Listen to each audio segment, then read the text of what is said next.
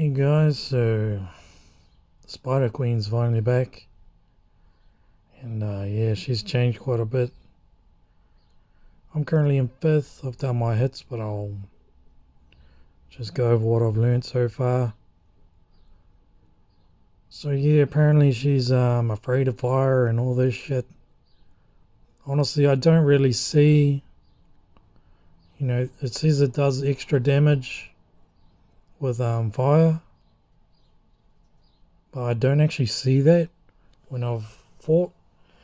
I've got five um, level 10 Harbingers of Fire, and you know, I do do well with them in, better than without them in, but it's not by much difference at all. So apparently you do 20, you got to do 20,000 damage worth of fire damage to get a layer of some overflow damage buff, whatever the fuck that means. But yeah, I mean, if you don't have level 10 Hoffs, and you shouldn't, you shouldn't make any. I made them a long time ago, just for the hell of it, when I, you know, didn't have anything else to upgrade, and yeah, so I've done 65 million. So I was doing about 20, 21, 22 million. So I'll just go over what I did here.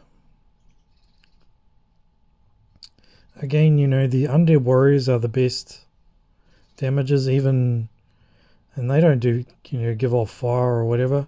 So I've got my five harbingers over here. They seem to help. They can do 20k damage, but they need to do 20k damage every three every three seconds, which level 8s just won't do that. But level 10s will. So if you don't have them, don't don't bother upgrading them. They're just is not worth it. So what I found is the turret switches are very good here. They actually automatically target the little spiders, so you don't have to worry about them as much. And yeah, uh, pilgrims are a lot more useful than brawlers are.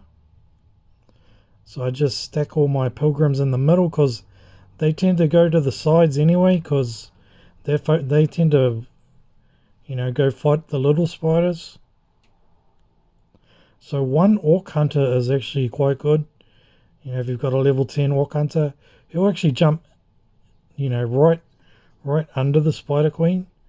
And he can um, absorb some damage. Some of the, um, the blast so they don't hit your other troops. I put Jin on the right. If you put him on the left, she tends to shoot this way more than she shoots that way. So if you put him on the left, he's more likely to die real quick. He still dies pretty quick, but you can keep him alive longer on the right. Don't put him in the middle, he'll die real quick. And yeah, just... The other thing is, um, you got to time Jin's active so that he's not activating while she's in her cocoon state. So I find two actives, then hold the third active till she comes out then hit it again then hold the next active and then once she comes out hit it so Jin's taken a shot there and he's died too quick so that's not good but yeah see the um, the turret switch is actually you know without hitting this button this target button they'll actually target the little spiders you know, naturally with their um, special skill. See, I might run this again because Jin did something dumb. He does something dumb all the time. He'll float, float into the middle and he'll die. So you just want to quit out of that and restart again. So generally you can, a 17 can get off two actives before you have to pause it. third active pause it fourth active then you may as well let that one go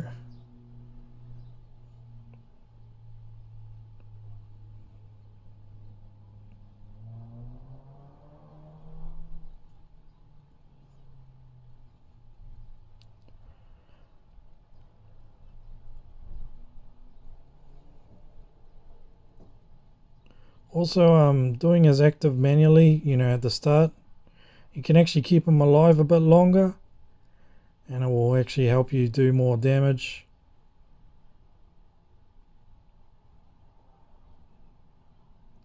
And we're gonna die now.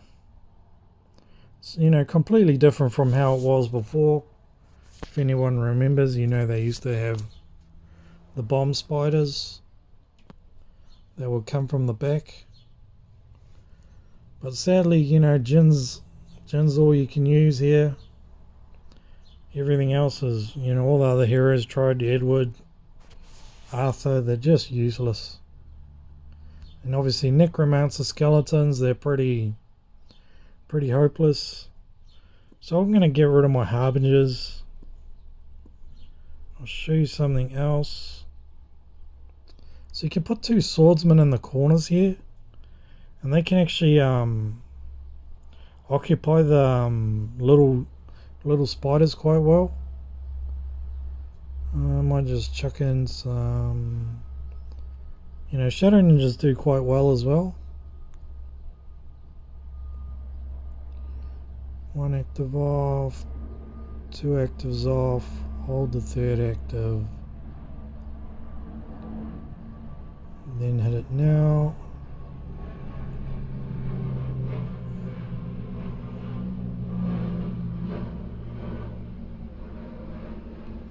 Yeah, Jhin goes in the middle and he basically um, ends up dying real quick. In which case you just start over again.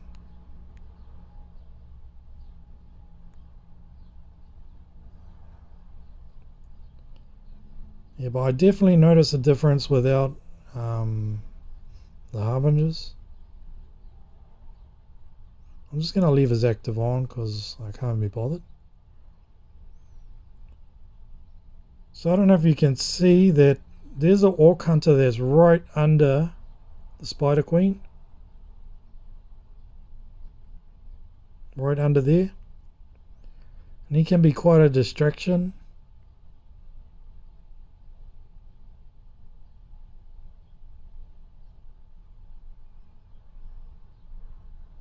Notice how the um, the pilgrims naturally just go to the spiders the little spiders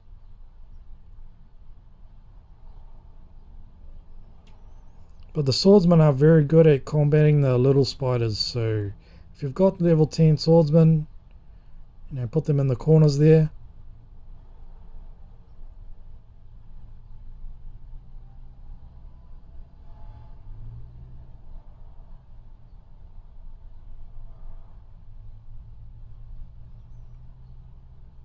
Yeah, I don't get as good a score without the um the harbingers, but you know, it's not that much difference. As you can see, the, the swordsmen do quite a bit of damage. A lot of it's not to the actual spider queen. A lot of it's to the little spiders, which don't, which doesn't really count to your whole score. And yeah, Shadow Ninjas do quite a bit. So I might just run that one more time. This time I'll just use three harbingers.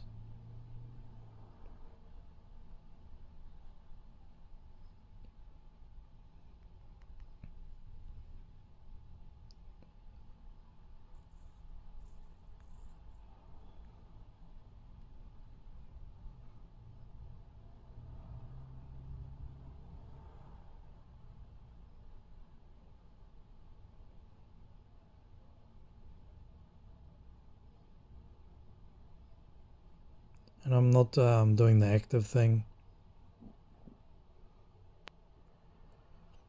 So if you use fire troops, you know, um, you know, her cocoon goes on fire, but it still doesn't go away. You know, like it's still at the same eight seconds. It's just some freaking visual effect. You know, I don't. The difference between using harbingers and fire troops and and not using them, you know, there's not that much difference at all.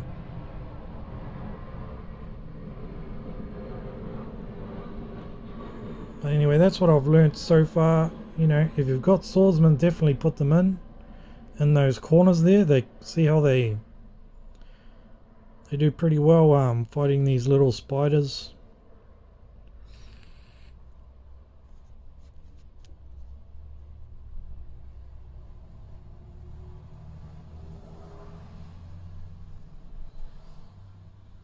See that finally killed that one orc hunter that was under it.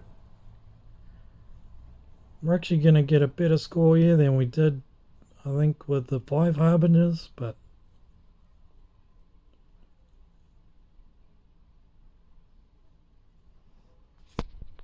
yeah, I'll just show you that. So yeah, the swordsman, and I've tried pumpkin guards, I've tried ice mages, they don't, I mean, um, frost archers. They just don't perform as well. But yeah, anyway, that's just uh, what I learned so far. And yeah, it's pretty early in the day, you know. Haven't had much. You know, we'll know more, uh, you know, if we keep going with this game. You know, the worst thing about this game is um, the, these these developers is just the lack of communication. Like, it's been six days and no word, you know, they're getting all this negative feedback and they just don't seem interested in addressing it. Like, they think one statement they made six days ago is enough, but it's not. People are quitting, people are leaving the game, and yeah, they, they need to, you know, open their mouths and say something. Otherwise, their game is gonna die. Alright, guys. Thanks for watching.